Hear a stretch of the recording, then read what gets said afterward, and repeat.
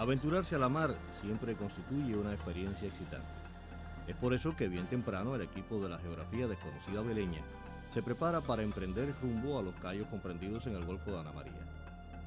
De la variada flora y fauna que habita, lo mismo en los cayos que en el mar, esperamos poder ver algunas especies y compartir lo que veamos y aprendamos con ustedes. Para eso abordamos el barco El Mexicano, al mando de Papito, el hombre orquesta, porque no solo es patrón, sino que sirve de cocinero, mecánico y ayudante de todo, utilísimo en estos menesteres de grabar fuera de casa. A la hora de zarpar, el primer contratiempo. El motor de la lancha que debe acompañarnos para sortear los lugares bajos y realizar otras maniobras no quiere arrancar. Al fin, cuando pensábamos que no íbamos a salir más nunca, la bujía, la sucia, era la culpable de la hasta ahora rotura. Y como buenos cubanos resolvimos el problema y logramos desatracar.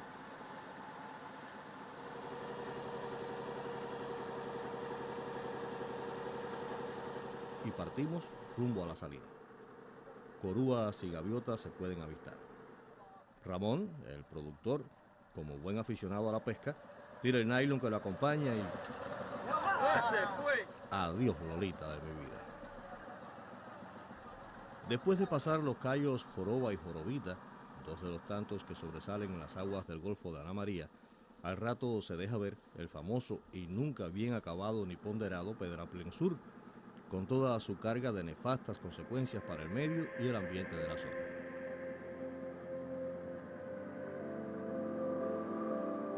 Entre ellas, la de servir de vial de acceso a cuanto pescador furtivo, clandestino o ilegal desea lanzar sus artes de pesca. Y no solo pescadores, Cazadores ilegales llegan hasta los callos para depredar cuanta jutía, iguana u otro animal encuentren en su camino. Y no estamos hablando de matar para comer, sino también para lucrar.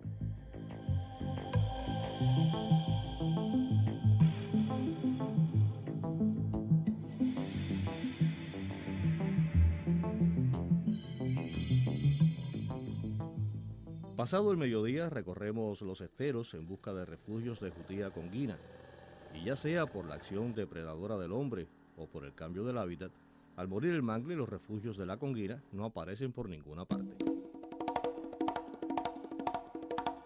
¿Que por qué hayamos un monumento a la muerte en vez de un verde manglar? Otro de los estragos del Vial Sur.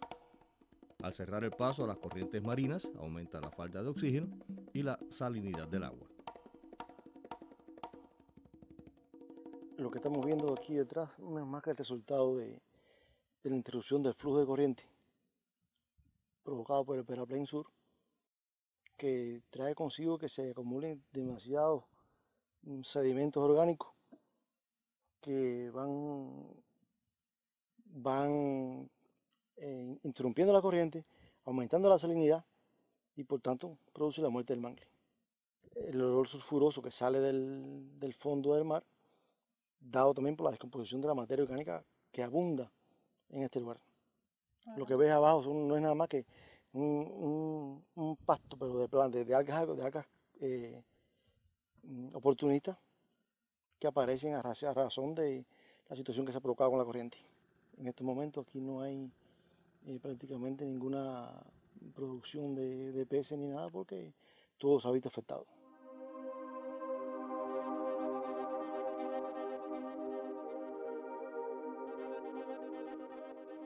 Donde antes se capturaban alrededor de 340 toneladas de peces al año desde que se atravesó el Pedraplén, nada.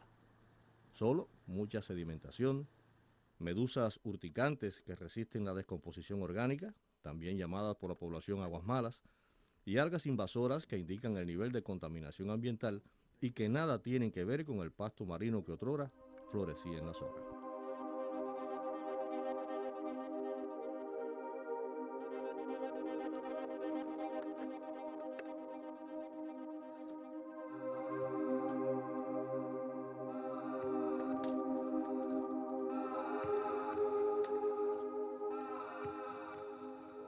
Buscando y buscando, al menos encontramos huellas de la existencia de las conguinas, las hojas tiernas de mangle roídas por las jutías durante la noche. Pero hay que decir que tienen hábitos nocturnos, lo que les permite evitar a sus posibles depredadores.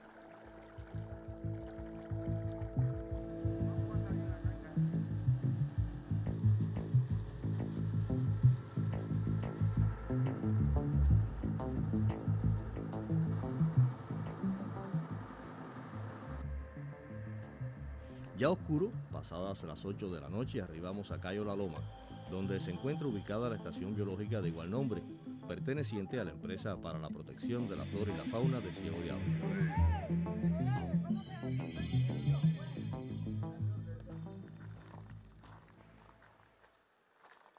Después de bañarnos y comer, salimos en busca de la jutía conguina que está establecida en el Cayo y recorremos refugios y refugios y nada.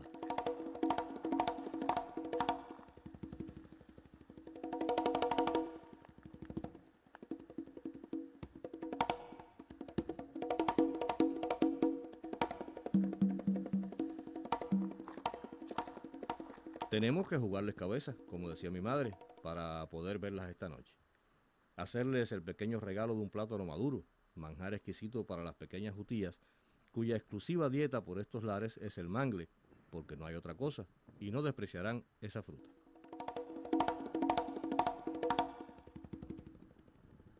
Y ahí están. Cualquiera que no las conozca puede creer que son ratas, pero son conguinas. En Cayo La Loma, se hizo una reintroducción de estas jutías tratando de salvarlas del estado crítico de extinción en que se encuentran, alejándolas lo más posible del alcance de los hombres, su principal predador. La jutía conguina siempre vivió en el mégano y a nado se mueve entre las uñas del mangle.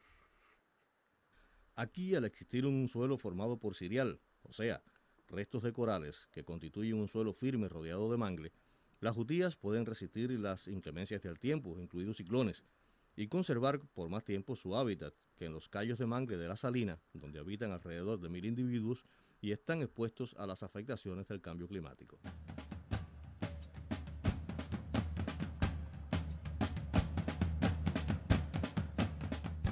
Y ahora sí las ratas llegan a arrebatarle el festín a las conguinas.